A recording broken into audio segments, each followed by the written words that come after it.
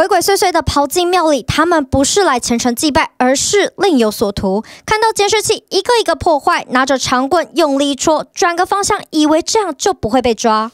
因为它那个本身就有那个有轮子，它以为它可能拆下来弄到那边去，让他找不到。我们现在只好 暂时请人来维修了。你看他对这个地方很熟。对，看来早就有预谋。妙方说，看他们的犯案手法，疑似是惯犯。这淳朴的所在，讲好安尼啊。附近居民也好无奈，频频摇头，怎么会发生这种事？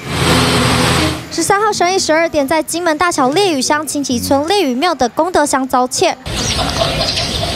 而烈屿庙又称王仙姑庙，因为盛传对民众有求必应、香火鼎盛，经过翻修及扩建之后，成为著名的观光景点，吸引许多人前往祭拜。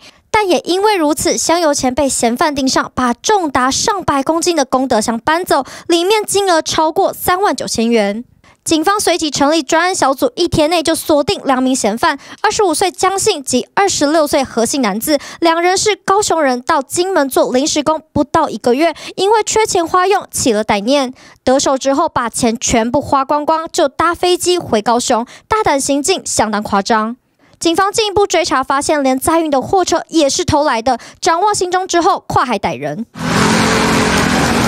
连神的钱也敢偷，还好神明有在看，电眼清楚拍下，这下百口莫辩。TBS 新闻陈皮乔也身份金门采访报道。想看最完整的新闻内容，记得下载 TVBS 新闻网 APP。